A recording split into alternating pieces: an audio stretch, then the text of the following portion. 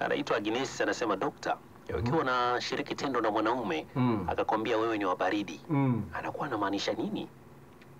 Okay, maana yake ni kwamba kwa sehemu kubwa anajikuta kwamba hapati msisimko mkubwa anapokuwa amekuingilia, na hii kwa sehemu kubwa si kwamba ni kweli mwili wako ama ni wa baridi.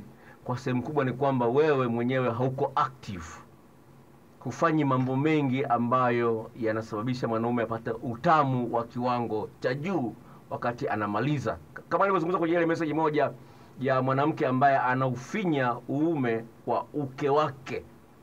Mpaka mwanaume amechanganyikiwa, sawa, ana mke wake. Sawa, lakini mchepuko ambaye ni mke wa mtu umemchanganya akili. Unaweza kuona kwenye message ambayo nimeisoma. Kwa hiyo kama umesikiza message hii, inaonyesha jinsi gani lazima mwanamke aonyeshe utofauti mkubwa kwenye tendo la ndoa. Sasa kwenyewe ni kwamba unapokuwa baridi, maana ni kwamba mwanamke mwana, ujumbe, ujumbe mkubwa ni kwamba hafurahii kufanya mapenzi na wewe. Kawaida kama wanadamu, sawa, ukikimbia utatoka jasho, jasho linatoka sababu mwili wako umepata joto la ziada. Sasa wewe umekaa tuko pale kama bata kama, kama, kama, kama samaki kwenye sahani, ufanye lolote lile sawa. Lingine ambalo wanawake wengi ambao wanalo hata kuchagua mikao hawajui, sijui mkao gani ndio mzuri, hawajui mkao ambao unapata msuguano mpaka uume wa mwanaume unakutana na cheche huko ndani, sawa. Sasa wewe hata kutengenezea cheche huko ndani tu hamna, hujui mkao gani mwanaume atapata raha zaidi, hujui. Nazo video clips sawa, zinaonyesha mikao mbalimbali yenye utamu wa kutosha mikao nimesema kwamba mikao ya mpizisho Hmm, sawa. Hiyo ni video ambayo unaweza ukaipata kwa hiyo lazima ujue kwamba utaonekana baridi kwa sababu ni message kwamba unaboa kitandani. Dada mmoja akaja ofisini kwangu kuja mpe story ni hapa. Ni dada mzuri kweli kimwangalia kwa sura. Jina lake linaanzia na H na muhifadhi. Mzuri kweli. Sawa. Mzuri sio uh, sio Halima bwana. Sasa sije ukasema Halima. Anyway sikiliza. Dada mzuri kweli lakini amekuja ofisini kwangu amevaa suruali yake nzuri na tisheti yake moja kali kweli sawa kuja ofisini kwangu asema dokta mpenzi wangu analalamika sijui kata kiuno Hmm. nikamwambia lala chini hapo niangalie kama unajua kata kiuno au jui kamwekea nikamwekea na kagodoro hapo chini na kagodoro kangu ofisini usiweke kama anazini ofisini Ah, okay, okay, ofisini pale pale. Kamwambia kwa sababu sio wa kwanza ya kuja yeye. Kama hela kumwambia nikamwambia kweli hujui kata kiuno. Sawa. Nikachukua kompyuta yangu kaonyesha kuna unajua hata neno la ukata kiuno kwa Kiingereza nilikuwa silijui lakini sasa mimi nalijua. Sababu nimeona kwamba watu kuna kuna kaka kaka kuna kaka mmoja anataka kumwacha mpenzi wake. Ile message nimeifuta kwa sababu tu hajui kukata kiuno peke yake. Sikiliza.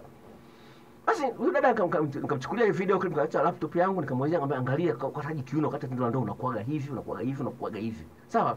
Hilo ni jambo la msingi. Kwa hiyo kuna mambo mengi ambayo mwanaume anaangalia ili aweze kuona kwamba hapa kweli pata mwanamke wa kweli si anabahatisha.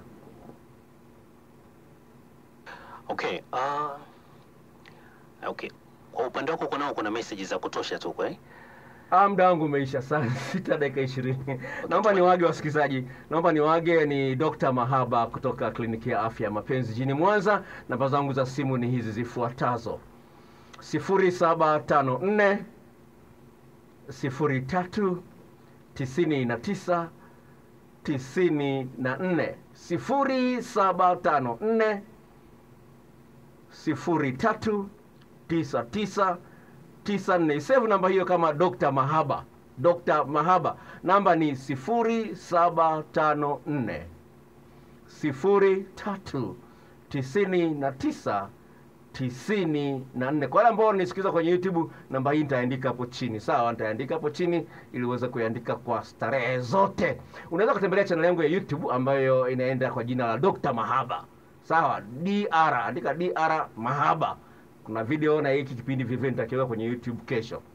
Mungu ibariki radio metro fm na kushukuru sana smart boy mtoto wa mchungaji kwa kuendelea kukiombea kipindi hiki na kukiendesha vizuri sana wasikilizaji redio ya uhakika ni metro fm nilikuwa naongea na meneja wa metro fm akasema yani tunatumia umeme mwingi sana hapa yani hii, hii redio ina, ina mitambo mikubwa kweli yani misito kwa hiyo kuna redio nyingine redio ni hii bwana sawa kwa hiyo naomba usiache Metro FM. Nikutakia usiku mwema mpaka Jumapili. Jumapili ijayo nitakuwa na mada. Leo ilikuwa maswali tupu, lakini Jumapili ijayo na mada. Kwa hiyo usikose Jumapili.